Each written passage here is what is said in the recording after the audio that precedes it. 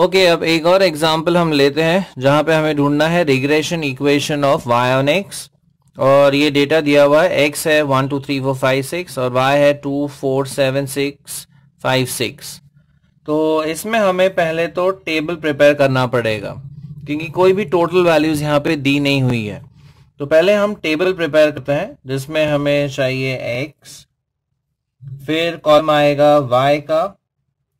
फिर कॉलम आएगा X into Y और सिंस ये इक्वेशन है वाई ऑन एक्स तो हमें यहाँ पे कॉलम चाहिए एक्स स्क्वायर का, जैसे हम ली स्क्वायर मेथड में करते थे। तो एंट्रीज कर लेते हैं एक्स की so it is one two three four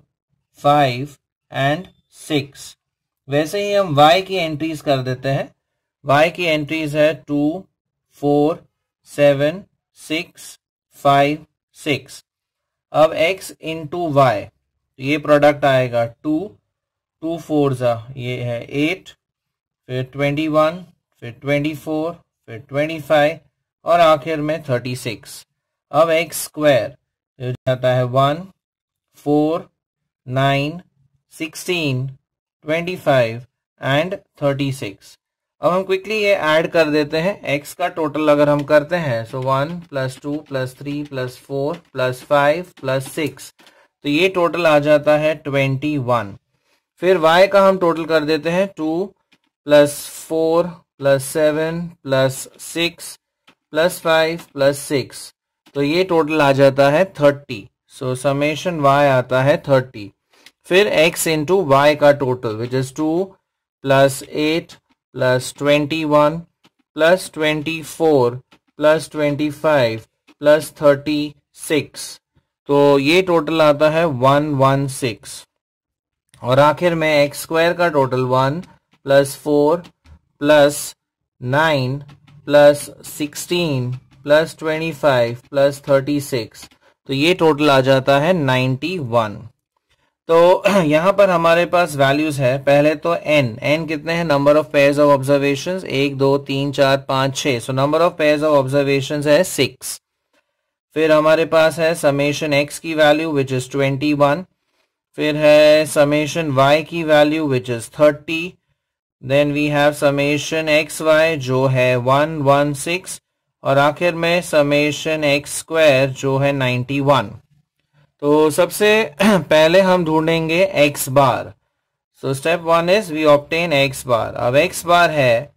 summation x divide by n यानी कि twenty one divide by six right seven divide by two तो ये हो जाता है three point five second step we calculate y bar y bar is summation y divide by n summation y ये है thirty divide by n n है six तो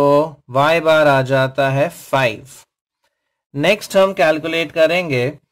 B y x because हमें इक्वेशन चाहिए y ऑन x का. So next step would be calculating b y x now according to the data हम formula कौन सा यूज़ करेंगे? फॉर्मूला आएगा n summation x y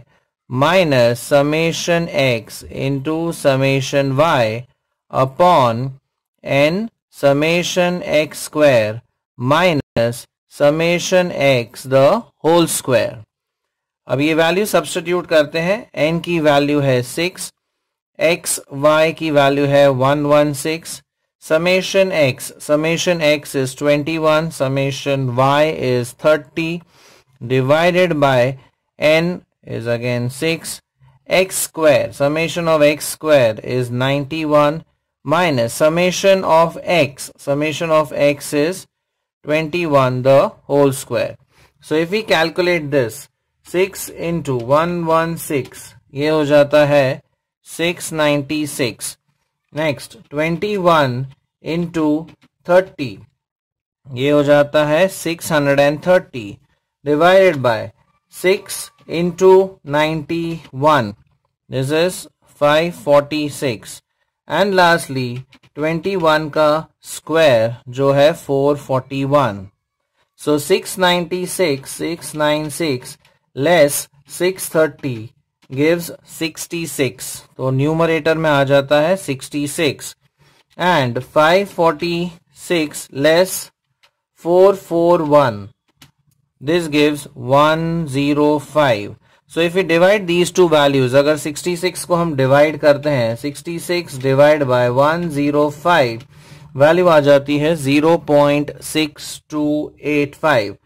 सो अप्रोक्स हम ले लेते हैं 0.63 दो डेसिमल्स तक हम राउंड ऑफ़ कर लेते हैं. सो बी वाई एक्स की वैल्यू है 0.63 so we have obtained x bar y bar b y x अब हम मिले, अब हमें मिल सकता है regression equation of y on x so step number four is